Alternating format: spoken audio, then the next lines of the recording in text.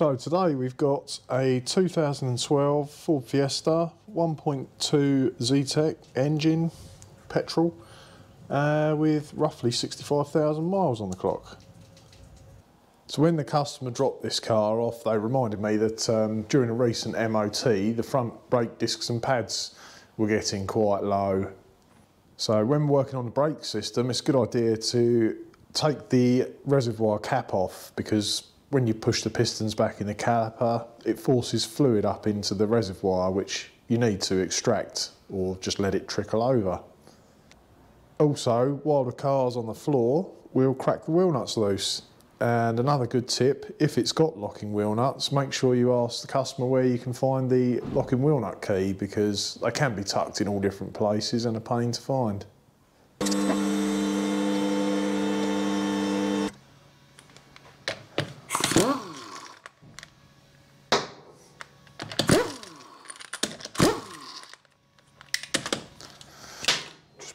Catch this wheel in case it falls off. Sometimes they uh, can get quite stuck and other times they come off easy. Oh, that one's off easy. So we've got the wheel off now. I'll turn this round a bit so a bit easier to see. Um, so the reason we're looking at the front brakes today, because they're making a bit of a noise, they're a bit harsh sounding. Um, yeah, and there is quite a lip on the on the discs. The pads, you can just about see down in here. That's the metal backing part of the pad. That's the disc, which you'll be able to see when I turn. And the bit in between is the brake pad lining material, which I'd say is probably only about half worn. But being as they're making quite a noise, we're going to uh, go ahead and strip it down and replace the discs and pads. Right, so in order to get the caliper off, I'm going to take it right off. If you're just changing pads, you can probably get away with just undoing this lower bolt here, which is a 12 millimeter on this one. I might need a spanner to hold that nut still. Yeah, let's grab a spanner.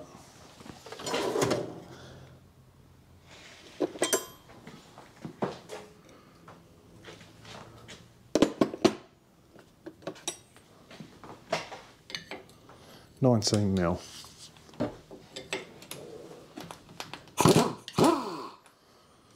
Right, that's that one out.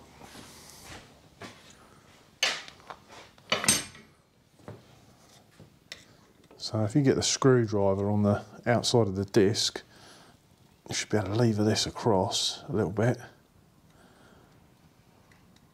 And by sliding this across, that in turn pushes the piston in a little bit, just to give you a bit of space to work on it. I think, I don't know, that's a bit tight on there.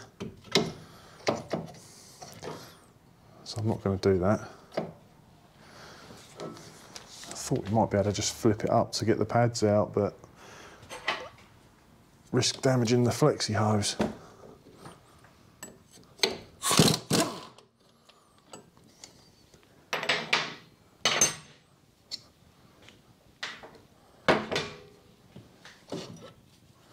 Bit easier.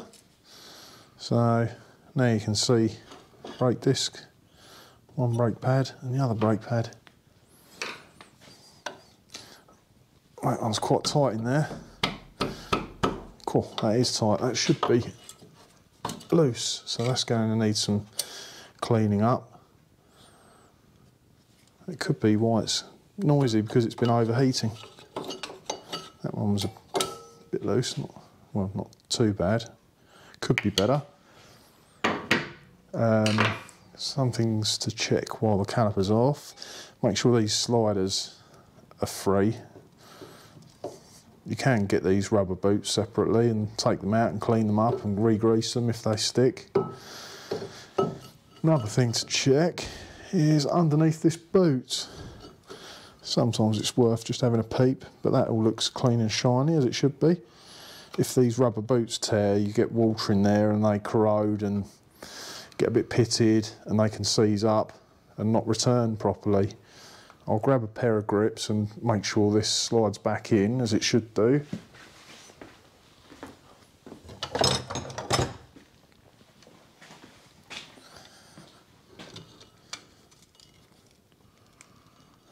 Yeah, that's pushing in. So when you push this in, that's when the brake fluid gets pushed back up the pipe and into the reservoir and can come out, trickle out. Okay. Next we'll um, get this carrier off. Right, so to get the caliper carrier off, we've got two 15mm bolts, which I'm going to undo with a gun.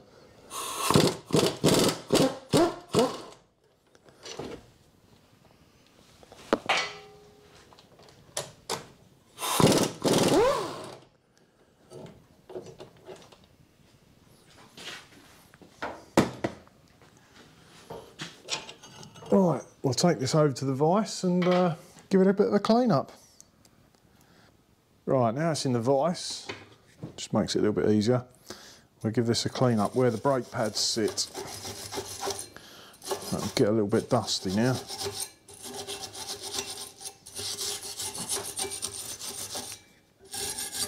You do find a lot of the time that it's because of the dust and corrosion in here that's the reason why the brake sticks.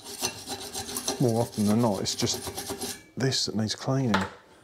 So once that's cleaned off, it's a good idea to pop these off. Give the back of them a bit of a dusting off as well.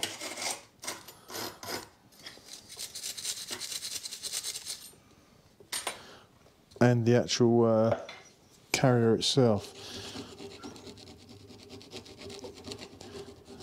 because the uh, the water sits in there in between that little shim and the carrier and uh, causes it to rust and it kind of bubbles up um, which closes up the gap where the pad sits and just stops it from sliding to and from.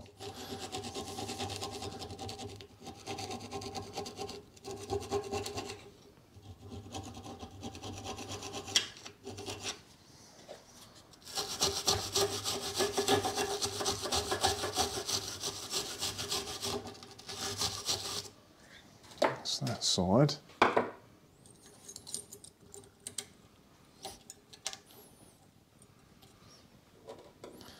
Um, this side.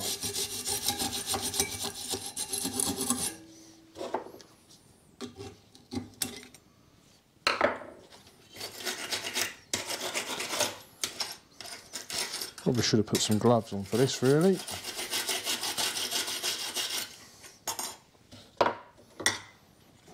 Turn uh, this around. You often find that one side's worse than the other. The lower one usually holds the water in there and rusts up more than the upper one.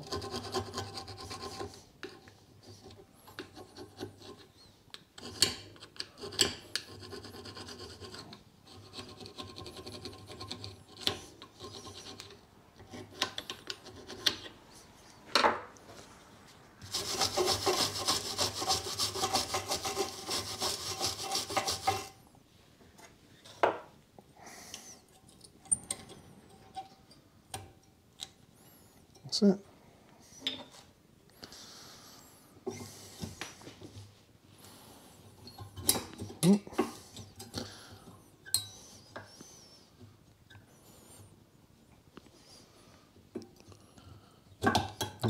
Yeah, I mean they slide through there okay. Yeah. Good. So there's one of the old pads and there's a new one. You can see the difference in the thickness there. I mean there is still quite a bit of life left in there but because it's um, the disc's a bit scored, you can see by the edges of the pad and making a noise, we will be changing the whole set. Um, it's a good idea with brake pads just to put a bit of grease on the uh, ears of the pad where they're supposed to slide in the caliper carrier. So I'll go ahead and do all four like that in uh, preparation to get it back together. Right now, been quite lucky on this one because it's actually loose. Most of the time, they, they seize on there and you'd end up going around the hub, giving it a clout with a hammer Um, you can hit the outside of the disc as well, it doesn't matter because you're changing it. Loosen it off. Yeah, that's a bit rough on the inside edge. Um, you can give these a dust off with a wire brush if they're corroded. This one actually isn't too bad. It's all quite smooth. Main thing is just to make sure that um, there's no debris on there to get trapped between the uh, disc and the hub. So that could give you a brake judder. So the new discs, they've got like a, a lacquer, oily lacquer coating, which I like to um, just use brake and clutch cleaner, get the worst of it off. Obviously, once you uh, start driving it, the first few times you use the brake, it, it might sound a little bit harsh, but it will just clean it all off as you're braking. It doesn't hurt to try and clean some of it off.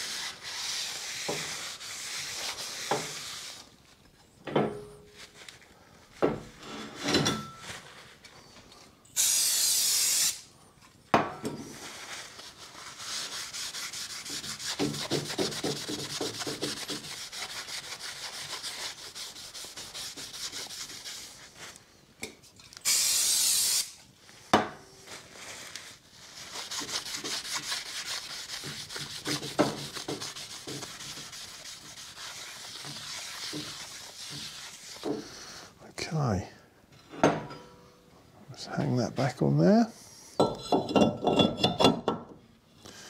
Um, then we get the uh, caliper carrier back on.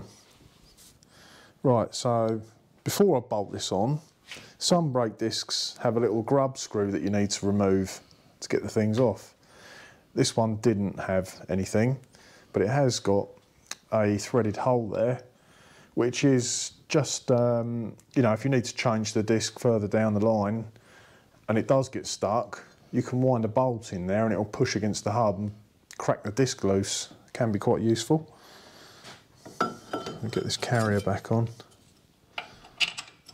which has got the two 15 millimeter bolts.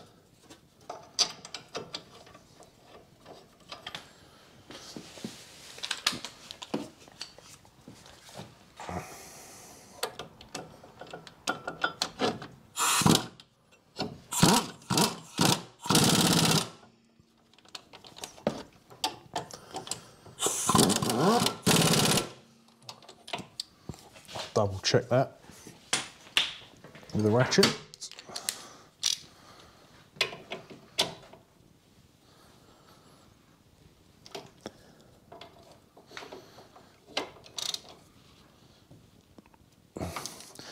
Great. Um, yeah, next we get the pads in. So a couple of things to look out for uh, when you put pads in. I mean, on this car, they're the same um, both sides. Sometimes they can be directional. Um, you might find an arrow on the back. Um, but yeah, just make sure that they are the same. All four pads are identical. So it doesn't matter which side you fit them on. I'm going to start by putting it in like that. Twist it round. That's it. That's fairly loose in there. Same this side, which I can't really see, so I'll need to come around there.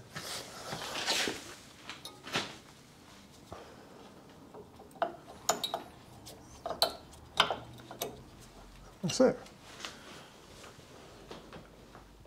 Right, now that's all bolted up with the pads in there and like you can move them around fairly easily, which is great. We'll get this caliper back on. We've already pushed the piston in.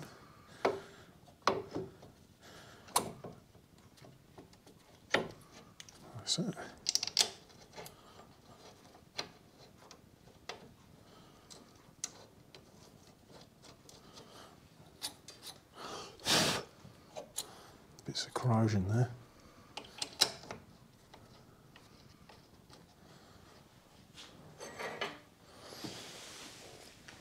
I'll just do these up gently with a gun.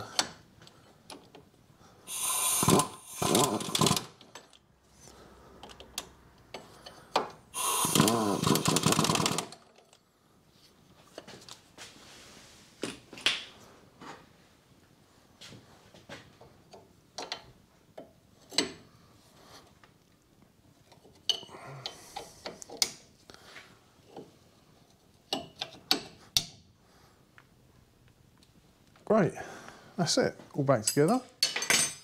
We'll just get the wheel on. Okay, same really as when you put the uh, disc on the hub, just make sure the hub on the disc hasn't got anything, any debris on there. And it all looks fine. Brand new disc, shouldn't be anything on there. So that's all, I know that all looks loose, but that's normal. Once the wheel's bolted on, it will pinch it all together.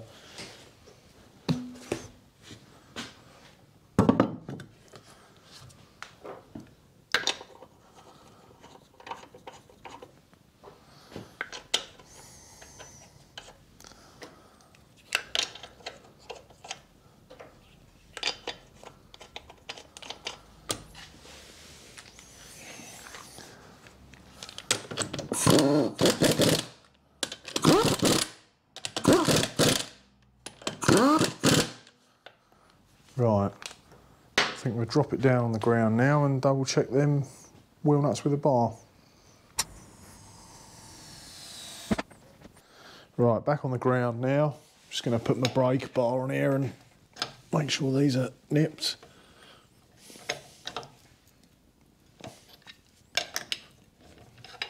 Like all fittings on a car, you can look up torque settings, but you know, as long as you're sensible and don't over tighten, then you should be fine. Right, happy with that.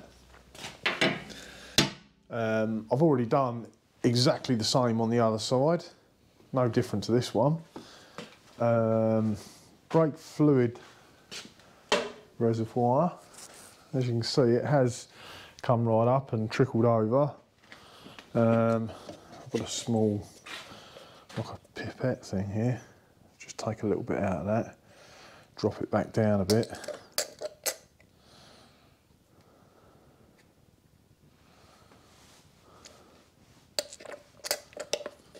Doesn't matter if it is slightly over the maximum, as long as there's a little bit of an air gap at the top.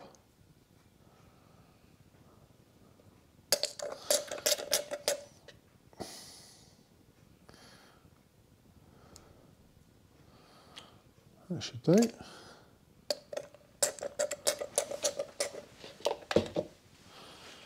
So the discs and pads I've fitted are aftermarket ones, which you should be able to pick up the whole set for, uh, I don't know, under a hundred pounds.